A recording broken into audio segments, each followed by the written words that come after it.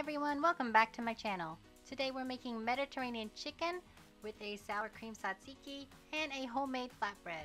If you guys want to know how to make this, hit that subscribe button and watch me cook. Starting off with our Mediterranean chicken, all we need is all of these ingredients placed into a Ziploc bag, marinating up to overnight if you'd like. I mean, this is just a great make ahead meal. You can do this in advance and just have your freezer prepped meals ready for the week if you'd like. This is just so easy. I am using a Greek seasoning. If you don't have that, just use salt and pepper in place of it. The same amount, about two teaspoons worth. Just combine all of your ingredients, making sure you get all that air out of the bag, and just massage everything in. And then we're just gonna keep doing this for a few minutes and set it aside in your refrigerator or your freezer whenever you're gonna make this.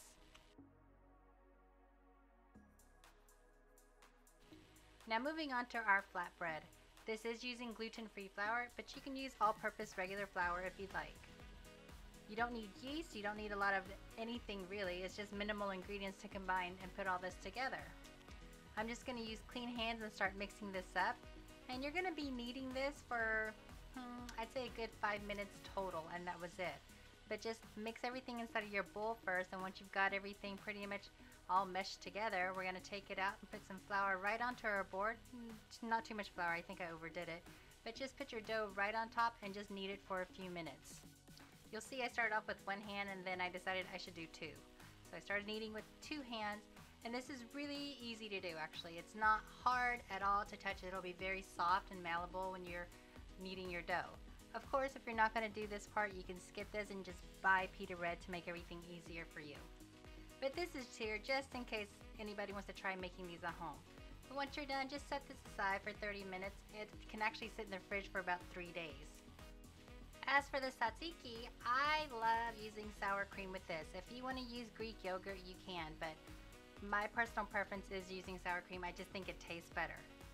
But I've got my cucumber here and I'm just to mince these up into small pieces and once that's done I'm to put it inside the bowl with the sour cream. Continuing with my garlic and my lemon juice and some salt to taste.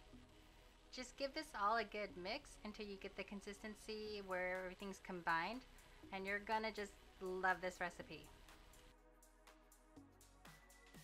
Alright, it's been about 8 hours and the beauty about this is that you can do this right on the grill pan, on a regular frying pan, on top of your grill outside, or you can bake this in the oven.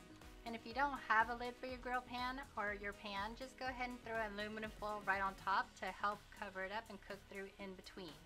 The chicken should be done in about 15 minutes and when that's done, let's go ahead and start with our bread. As you see here, I'm just making preparations to try to equally divide this up into four parts.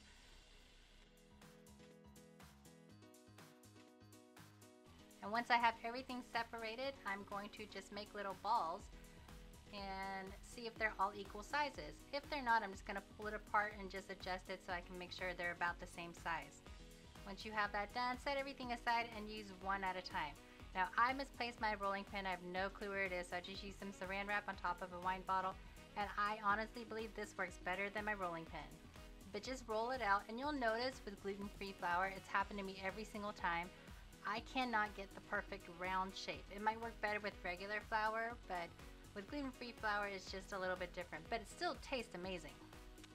So continue rolling it until you get, uh, you'll see it when I start, when I'm done rolling, but you'll see how thin it is. And that's about how you want it. Now go ahead and heat up your pan, throw a little bit of olive oil on there, and then your bread. And we're going to cook this until it bubbles up. And once you see it bubbling up, we're going to go ahead and flip it, and you're going to see that it's brown underneath. This is the look that you want so you know that it's done. You'll be cooking it about a minute and a half on the first side and then about another minute on the second side. And we're going to continue doing this for the rest of our breads. You can see it in the other one, so I showed this one here, but you see the bubble? That's when you know it's time to flip it. Now the great thing about this bread is that you can, again, you can make this in advance, you can make plenty and they will freeze nicely. These are a great addition to curry or just making flatbread sandwiches. I mean, they're amazing. I've tried to make these ahead of time, but my family just eats them all, so there's no way I could do that. But I just love how flexible they are. Look at this. It's amazing. Alright, I've plated my dish with some couscous, the chicken, the flatbread, my tzatziki, a salad with the balsamic vinaigrette we just made.